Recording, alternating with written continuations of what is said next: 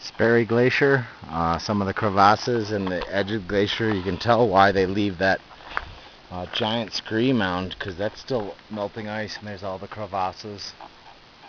And uh, you can't even see Reynolds or Avalanche Lake or Triple Divide or anything because of the smoke. It's just terrible.